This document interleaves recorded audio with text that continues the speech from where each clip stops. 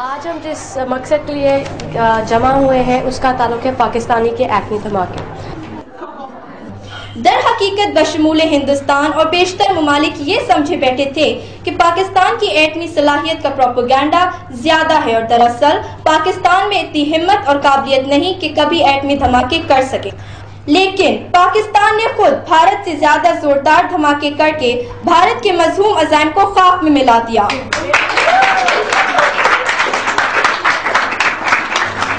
جناب چیئرمین پاکستان کے دھماکوں سے نہ صرف پاکستانی عوام کو حوصلہ اور عزت ملی، بلکہ دوسرے مسلمان ممالک کے عوام نے بھی کافی مسرت اور اطمینان کا اظہار کیا۔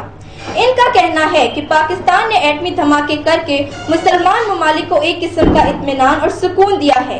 کہ اگر خدا نخواستہ کبھی مسلمان ممالک پر کوئی ایٹمی جاریت ہو، تو وہ پاکستان کی طرف ایٹمی امداد کے لیے دیکھ سکتا ہے۔ انسان ظلم و ستم یا دہشت گردی سے نہیں بلکہ پیار اور اچھے اخلاق. Mother Teresa Mother Teresa Lady Diana Edhi اور نصرت فتح علی خان جیسی عظیم شخصیات نے دکھ انسانیت کی خدمت کر کے پوری دنیا میں ایک دھماکہ برپا کیا۔ تاریخ شاہد ہے۔ ظلم سے نہ روکا جائے اور اینٹ کا جواب پتھر سے نہ دیا جائے تو جارے کا حوصلہ بڑھ جاتا ہے اور وہ ظلم کی انتہا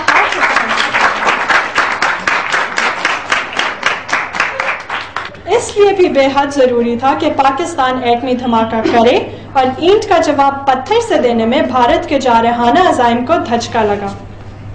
ایٹمی دھماکے کرنے کے فوراً بعد پوری ہندوستانی قوم اپنے آپ کو پاکستانی قوم سے بڑھتر سمجھنے لگی تھی۔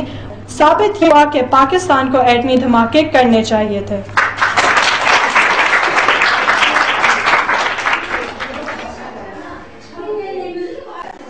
میرا سوال آپ سب سے یہی ہے کیا ہمیں دھماکے کرنے چاہیے تھے یا کہ نہیں؟ کیوں آپ کیا بہتر سمجھتی ہیں کہ کیوں نہیں کرنے چاہیے تھے؟ کیونکہ پاکستان بھی ڈیولپ نہیں ہے اور انڈیا بھی ابھی اتنا ڈیولپ نہیں ہوا ہے۔ انڈیا نے خود ہی کیوں بلاسٹ کیا؟ کہ اس نے پاکستان کو پھر وہ پھر پاکستان نے بھی کرنا ہی تھا۔ پاکستان نے جو کیا، اس کے خلاف میں نہیں بولنا چاہتا ہوں، کیونکہ وہ میں سمجھتا ہوں کہ آپ بول سکتی ہیں۔ میں اپنے بم کے خلاف ضرور بولوں گا۔ کہ ہمارے دیش نے جو کیا، وہ کبھی نہیں ہونا چاہیے تھا۔ اور یہ آپ کو سوچنے کی بات ہے کہ آپ کے دیش نے جو کیا، وہ کیا صحیح کیا کہ نہیں۔ پچاس سال کے بعد پاکستان کا بھی یہ حال ہے۔ بنیادی سہولتیں نہیں ہیں، پانی نہیں ہوتا، کھانا نہیں ہوتا۔ ہم کس طرح وہ سوچ سکتے ہیں ایٹم بم کے بارے میں جب ایسی چیزیں ایسی چھوٹی چھوٹی چیزیں لوگوں کے پاس نہیں ہیں۔ لوگ قتل کر رہے ہیں لک ایٹ کراچی ٹوینٹ آئی مین پچیس ہزار لوگ ادھر مر چکے ہیں ابھی تک۔ تو I mean outside threat تو کچھ نہیں کرے ہم اندر سے خود ہی اپنے آپ کو مار دیں گے۔ خود ہی ہمارے میں وی ہیو سو مچ واریت، اتنی ٹیررزم ہے۔ میں انڈیا میں بھی گھوما ہوں کیمرہ لے کے، اور پاکستان میں بھی ایک دو دن تو گھوما ہی ہوں۔ اور میں نے عام لوگوں سے بات چیت کرنے کی بھی کوشش کی ہے۔ میں نے یہ پایا کہ عام لوگ بالکل خوش ہو جاتے ہیں جب میں بتاتا ہوں کہ میں بھارت سے آیا ہوں۔ یعنی مجھے اتنی فرینڈشپ ملی ہے ایک دو دنوں میں کہ میں بتا نہیں سکتا۔ اور یہ عام لوگوں سے یہ ایلیٹ سے نہیں میں یعنی کہیں ٹیلی فون والا ہو کہیں بس والا ہو۔ اچھا۔ آرتھوڈاکس لوگوں کے ساتھ بھی ہے۔ اچھا جو آپ بول رہی تھی جو آپ نے ڈیبیٹ میں کہا اور جو بعد میں کہا اس میں اتنا فرق کیسے ہو گیا؟ جب آپ نے سوچا کہ میں ڈیبیٹ کروں گی تو یہ اس کے بارے میں آپ نے کیسے طے کیا کہ میں پرو رہوں گی؟ جس میں زیادہ وہ ہے زیادہ پوائنٹس ملیں گے جس میں زیادہ جوش لگے گا اور جو جتوائے گا ہمیں میجورٹی جس میں ہوگی بھائی آپ اسی ٹاپک کو لیں گے۔ تو اس لیے۔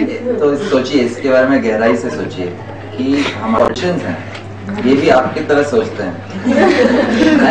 آپ جو جتوائے گا جس میں زیادہ جوش ہے اسی کو میں بولوں گا۔ نہیں تو ہم غلط ہیں ہمیں یہ نہیں کرنا چاہیے تھا۔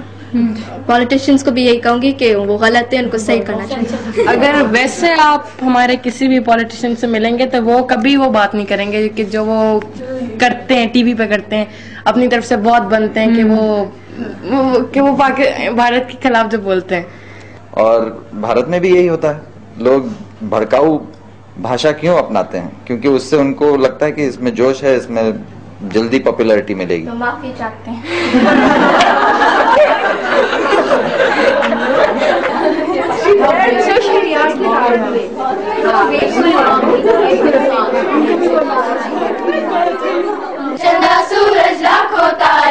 جب تیرے لیے سارے۔ کس بات پہ ہوتی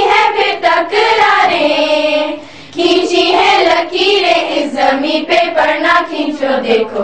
بیچ میں دو دلوں کے یہ دیواریں دنیا میں کہیں بھی درد سے کوئی بھی تڑپے تو ہم کو یہاں پہ۔ احساس اس کے زخموں کا ہو کے اپنا بھی دل بھر بھر آئے روئے آنکھیں۔ دوری کیوں دلوں میں رہے، فاصلے کیوں بڑھتے رہے پیاری ہے زندگی ہے پیارا جہاں۔ رشتے بڑی مشکلوں سے بنتے ہیں یہاں پہ دیکھو۔ ٹوٹنے کے لیے بس ایک ہی لمحہ۔ عشق گواہ ہے ہر ایک درد کی۔ عشق ہے جو سارے جہاں کو امن بھی دے۔ چندہ سورج لاکھوں تارے ہیں جب تیرے لیے سارے۔ کس بات پہ ہوتی ہے پھر تکراریں کھینچی ہے لکیریں، اس زمین پہ پڑنا کھینچو، دیکھو، بیچ میں دو دلوں کے یہ دیوار